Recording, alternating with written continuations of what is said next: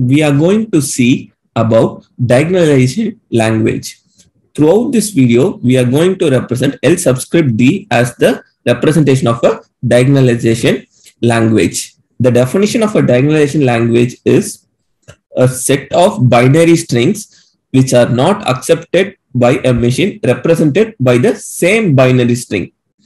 So the mathematical way of representing this definition is, is a set of strings, right? So Wi belongs to 0 plus 1 the whole star such that Wi does not belong to the language generated by the Turing machine I. I hope you know what a Turing machine is. So if you don't know what a Turing machine is, refer to my encoding of a Turing machine where I have explained what a Turing machine is. So here i is an integer. So I will convert this integer to a base 2 number and then this base 2 number is a binary string. I can represent the base 2 number as a binary string also. So for example, let's say there is a number, let's say there is a number 3. Fine. I can convert this decimal number to a binary number, right? So this is a decimal number of base 10. I'm converting it to a binary number of base 2. So from integer, I'm converting into base 2. So this is also, we can interpret as a binary string, right? In the previous video, I have mentioned that every Turing machine can be represented as a integer, such as Turing machine 1, Turing machine 2, Turing machine 3, so on. Like this, there are infinitely many number of Turing machines available.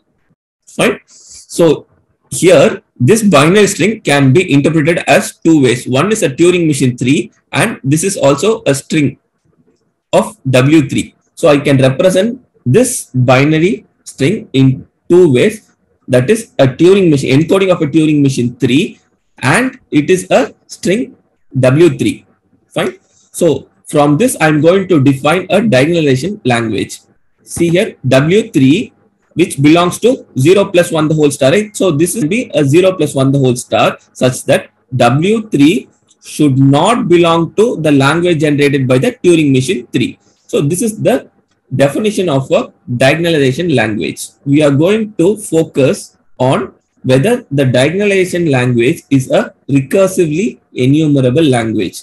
That means if W belongs to the diagonalization language, then there exists a Turing machine such that W belongs to the language generated by the Turing machine. This is what we are going to focus in this video. There are two cases here. The string can belong to the diagonalization language or the string will not belong to the diagonalization language. Fine. So what a Turing machine does is if the string belongs to the diagonalization language, the Turing machine just halt and accept that string if the string does not belong to the diagonalization language, there can be two possibilities. One, the Turing machine can halt and reject that string or else the Turing machine can go into an infinite loop. So this is about the Turing machine with respect to the diagonalization language. Now we construct a table T. Okay. So this table T where the row contains the infinitely available Turing machine and the columns contain the set of strings available. Here, this is Turing machine 1, this is Turing machine 2, this is Turing machine 3, Turing machine 4, Turing machine 5, Turing machine 6, and so on. Similarly, this is the word 1, word 2, word 3, word 4, word 5, word 6, word 7. Fine. So I will consider this as a matrix now. And this matrix will be a binary matrix which accepts either 0 or 1. So here I have represented 1, right? This 1 represents that W5 is accepted by the Turing machine 4. Okay. So the string 5 belongs to the language generated by the Turing machine 4. 1. Okay. So this 0 here represents that the string 4 doesn't belong to the language generated by the Turing machine 6. This is how I'm going to construct the table, which is in the form of a binary matrix, right? So I am representing the decimal number 3 into a base 2 number, binary number. I can interpret this base 2 number as a binary string also. The binary string can be considered as a word as well as a Turing machine now. Right? This is what a diagonalization language, right? So W3 should not belong to the language generated by the Turing machine 3. I am going to consider a vector D, which is the diagonal element. So this table's diagonal element, I am going to consider it. Okay. So this T11 is the first element of D vector. This is the second element T22. So all the diagonal elements I am considering here. Okay. So if there is an element TII, which means I am taking word I, which belongs to the language generated by the Turing machine I. If it is 1, if this value is 1, we can say that WI is accepted by the language generated by the Turing machine I. If it is 0, then we say that the string is not accepted by the language generated by that Turing machine. So now we are going to consider vector D complement. What is vector D complement is I'll take one element in vector D, I'll complement here. Next, I'll take the second element and I'll do complement here. Then I'll take third element, I'll complement here and so on. So I'll complement all the elements present in the vector D. So now what happens to this one? So if I complement it, if it is zero, then it will be accepted. Then that string will be accepted by the Turing machine because this is a complement, right? So here it becomes zero. Here it will become one in a complement, right? So that's what I have written from here to here. If the cell value is zero, then the string will be accepted by the Turing machine. If the cell value is one, the string will not be accepted by the Turing machine. Here d dash i is equal to 1. So let's take the ith element of d dash. This element, if it is 1, what we can imply? So it is bidirectional, right? So both ways it is true. So if d dash of i is equal to 1, what we can say that the string doesn't belong to the language generated by the Turing machine, right? So that's what I have written here. If this cell value is 1, then this will be true. And vice versa we have seen the definition of a diagonalization language, right? Wi that belongs to 0 plus 1 the whole star such that Wi doesn't belong to the language generated by the Turing machine I. This was the definition we have seen. Instead of this, what I can write, I can substitute this, right? D dash of I is equal to 1. So instead of this, I am substituting D dash of I is equal to 1. So the diagonalization definition will be changed to this. Okay wi such that d dash of i vector is equal to 1 there is a note here. In the previous video of encoding a turing machine i have mentioned that every turing machine corresponds to an integer i. Okay so refer this video encoding of a turing machine. In this i have explained why turing machine corresponds to an integer there. So now we will focus on is the diagonalization language a recursively enumerable language? Let us assume it is a recursively enumerable language first. Okay, our assumption is LD is a recursively enumerable language. If it is a recursively enumerable language, then there must be a Turing machine available for that language, right? So, if this is true, is there a Turing machine that accepts LD? So, what that means is so if there is a Turing machine that accepts LD means we can interpret as, so if there is a row in T which is equal to D dash. So how we can interpret this? See here, Turing machine, right? So Turing machine is represented in rows. This is a Turing machine.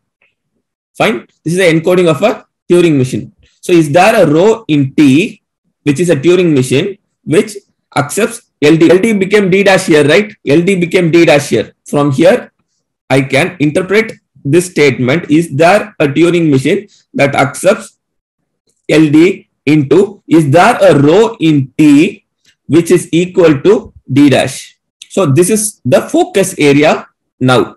So I have to concentrate on this statement. I have to prove whether this statement is either true or false. Let's check whether this statement is true or false. Let's take the same table T, the rows is Turing machine and the word is I. Okay. and then there are many cells in this. So this is a table T with rows as the Turing machine and columns as the words. So I am assuming it. Let ith row be the row in T which is equal to the D dash vector. Because I have to find this right. Let's assume that I be the row in T which is equal to the D dash vector. This is my assumption now. Now Turing machine I, Ti. So instead of Tm I, I am representing the row I as Ti. From now on, I will represent Ti as the row I. Fine. So Ti is equal to D dash. That's what this assumption says, right? Let I be the row in T, which is equal to the ve vector D dash. So Ti is equal to T dash. Now I will take the jth element will be one of the element of the diagonal element. Okay. So Ti, this is Ti through jth element. Okay. So Ti of j is equal to d dash of j, right? Because jth element, both the jth element should be true. If all the elements of the diagonal element as well as this row should match, right? So all the elements in this cell as well as the diagonal elements, all the elements should match. So here the first element and this first element should match. The second element here should match with the second element. The third element here should match with the third element and so on. Okay. So for all, that's why I have represented for all j is equal to 1, 2, 3 up till how many elements are there available in the table. So Ti of j can be equal to dj the whole complement. I can write d complement of j as dj the whole complement. Let's assume now j is equal to i. Okay, what happens now? So j equal to i means t j j I can write right because i and j are same now. So t j of j will be equal to d of j. So what t j of j actually mean? It is the element of vector d right? Tj of j. So here we have seen right? What will be tj of j? So tj of j will be d of j right? So d of j was constructed from the diagonal elements of t. But d dash is the complement. Fine? So tj of j will be the jth element of vector d so now I can write Tj of j as dj, right? So is it possible for d of j is equal to d of j complement? It is not possible, right? Because if I keep this as 1, this will be 0. If I keep this as 0, this will be 1. Because it is complement to each other. It will never be same. So it is contradicting our assumption. Let ith row be the row in T which is equal to D dash vector. So what that implies? So there is no row in T which will be equal to D dash vector, right? So this is D vector. I'm complementing all the elements in this vector as D dash vector, right? All the diagonal elements are complemented to get the D dash vector. So at least there will be one element in every row which does not match to d dash vector. So this statement can never be true. Is there a Turing machine that accepts LD? I'm backtracking now. This assumption is false. So because of this assumption is false, this statement will be false. Because of this statement is false, this statement will be false. We see all are bidirectional. If this is false, this also will be false. If this is false, this also will be false. So what we can conclude that LD is not a recursively enumerable language. So our final conclusion is there will never be a Turing machine existing for a diagonalization language.